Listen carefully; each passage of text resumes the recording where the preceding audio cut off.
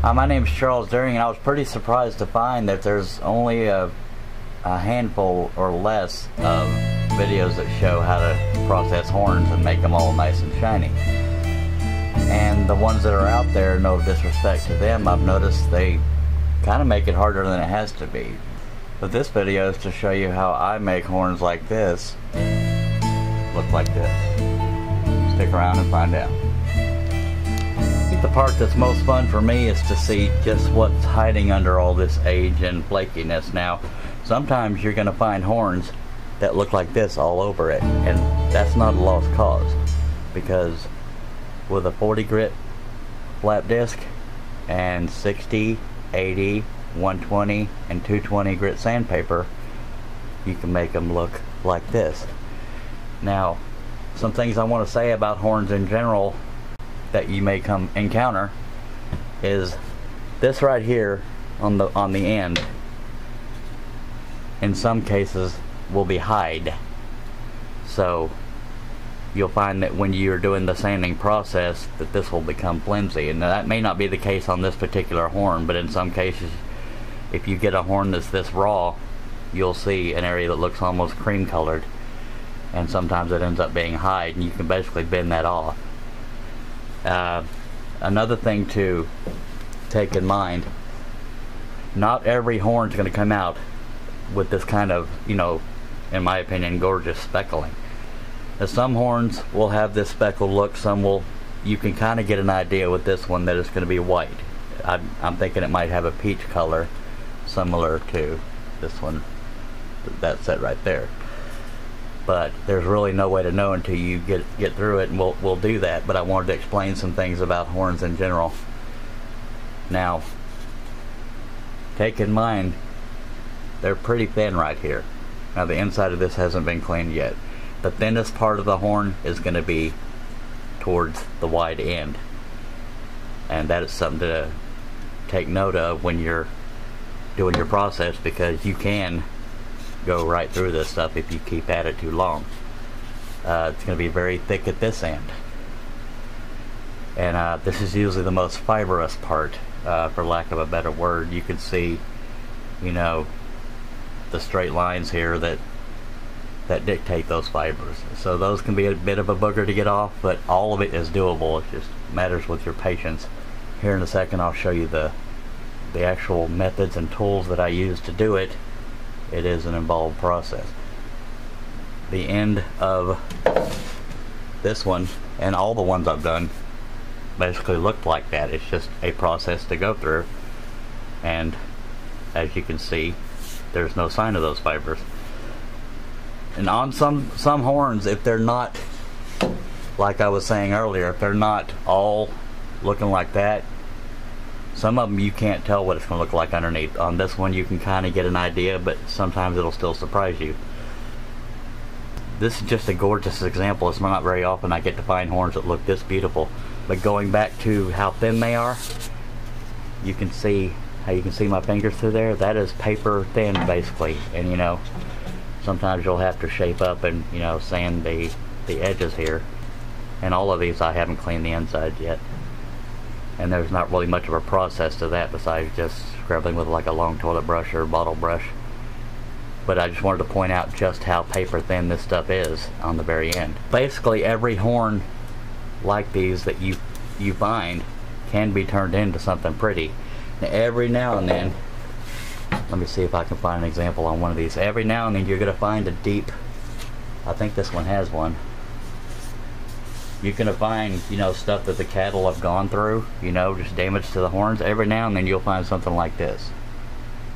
Now I used a little bitty wire wire wheel set up on a Dremel to get the gunk out of that so at least somewhat matched. It didn't just stick out like a sore thumb.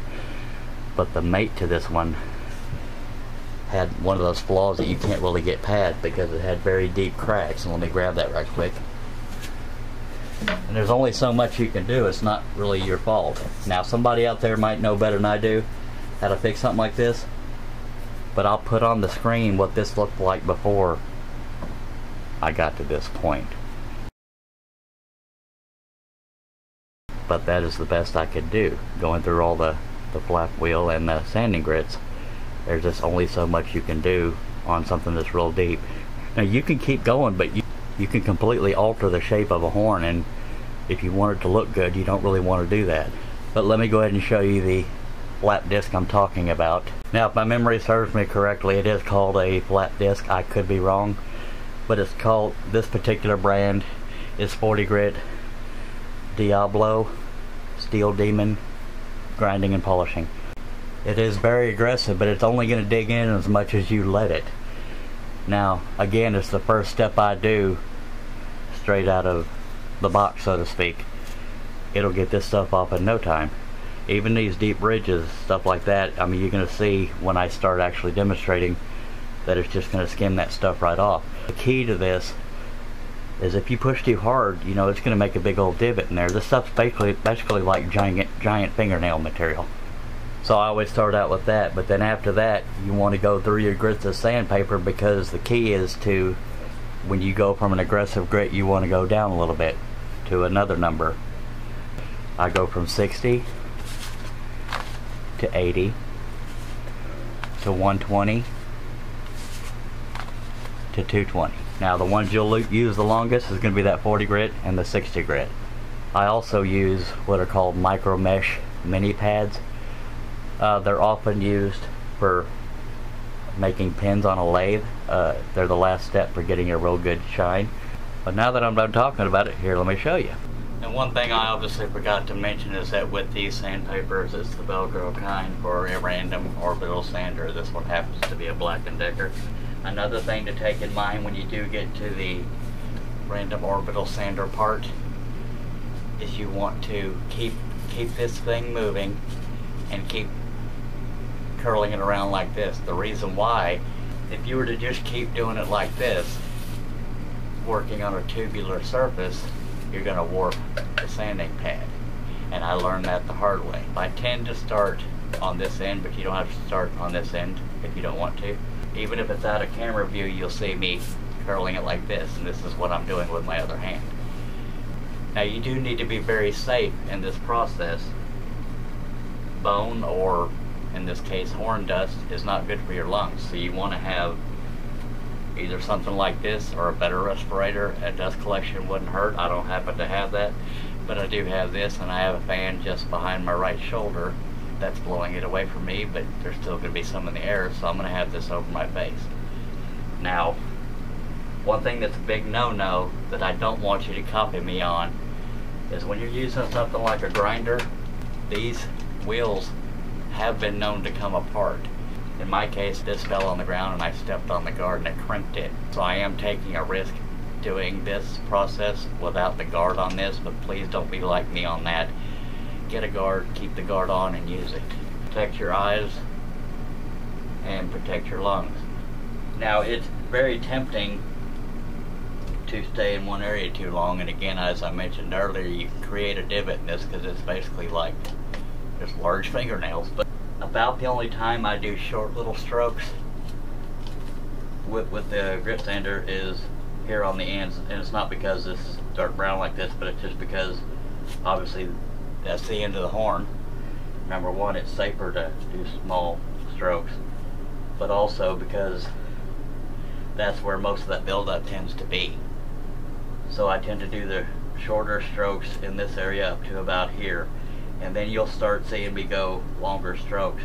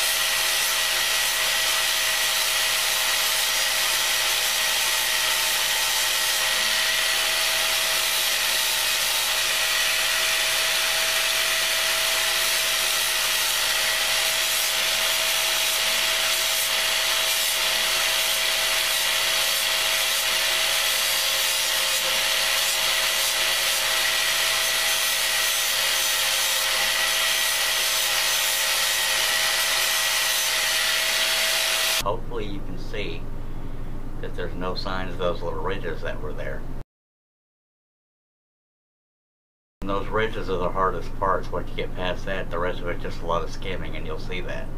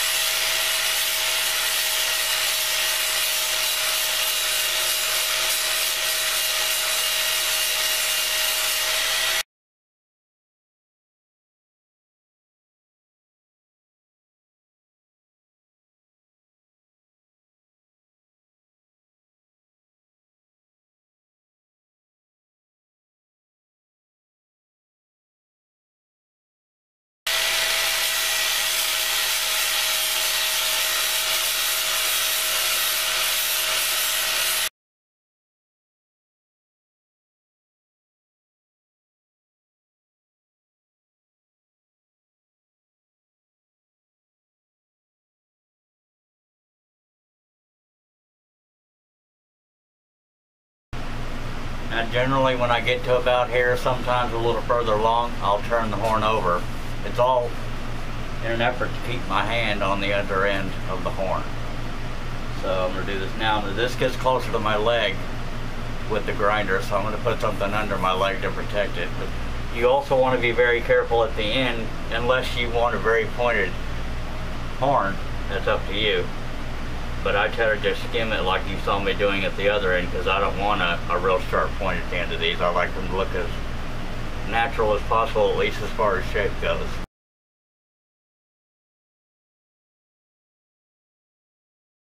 You got you got to keep it moving, and again, you don't want to stay in the same spot. If you ever see me going like this, I'm barely, barely, barely kissing the surface. But I kind of got to keep going like this to keep it round while I'm still trying to get these fibers to not be as light.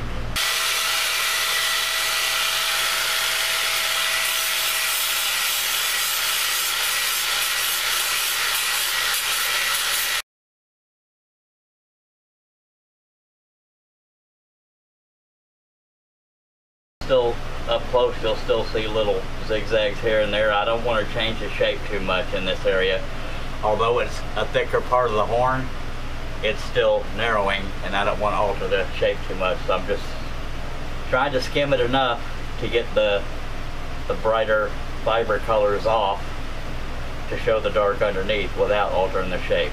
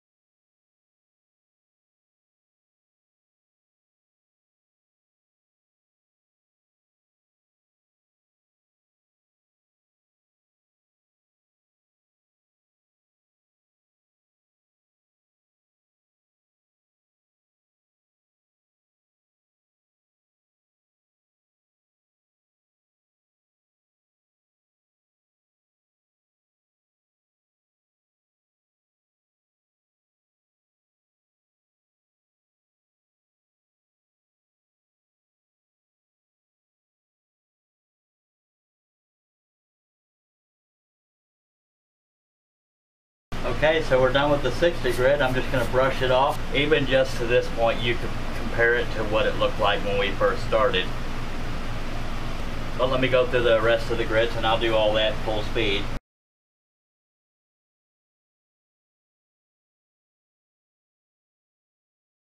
The 120 and 220 actually go very fast.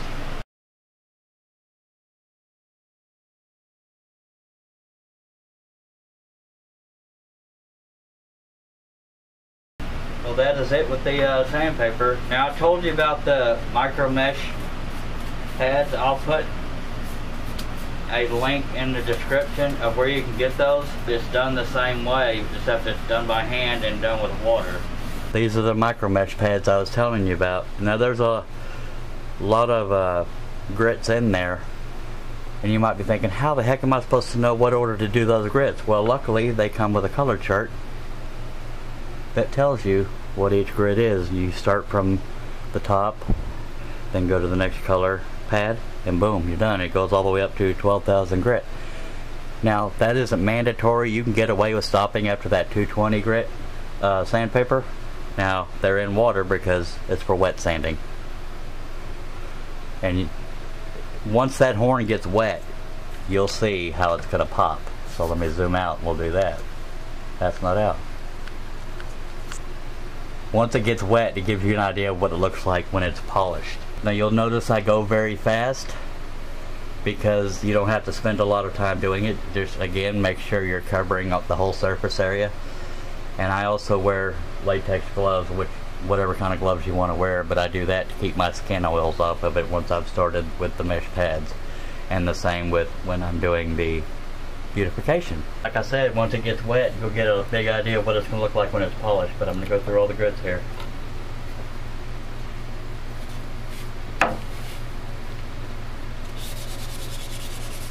see how it already starts to pop? I'm telling you, this, this this is what what I do it for because it looks so gorgeous when it's done. Of course, that water's not going to stay wet; it'll dry up eventually. But you can already see how it went from that dull black to this shiny. But let me go ahead and do the whole thing.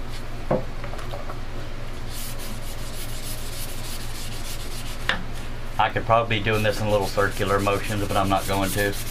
Really, no need.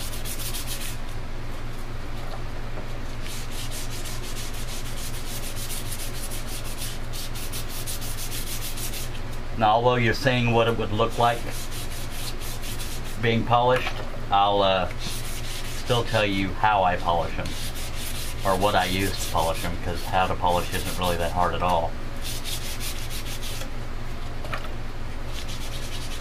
And as you go through each grit, you'll you'll feel less resistance going across the surface of the horn because you're literally making it smoother, just microscopically, so to speak. Okay, that was the first grit, and I'll just speed up to go through the other grits. Now the only drawback to everything you've just seen is the customer that's getting this horn wants to polish it themselves, but I do have some other horns over here that I can show you that haven't been polished yet. But I'll still leave this one in view just for the sake of looking. Just drying this one off for now and this is one horn done. Let me get the one that hasn't been polished yet. Well, there's two ways of polishing. If you want a little shinier sheen, which it, it won't work outdoors, it'll work, but it won't stay shiny, is a, basically a baby oil soaked rag. And that's what I've been using lately, but you can also use uh, beeswax beeswax is quite commonly used. You put it on like you would any other kind of wax. This is the one I use. The quickest way, baby oil soaked rag, and it's done. But for the sake of visuals, well, let's do it now. I'll put on some gloves. And I apologize if you feel deceived with this other horn, not getting to see it polished, but uh, the way it looked wet is the way it looks polished. But uh, I have to do what the customer wants, and the customer wants to polish it themselves.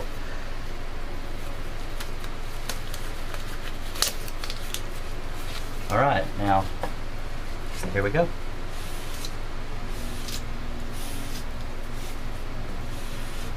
It doesn't have to be drenched in baby oil, but if you want it to be, it can be.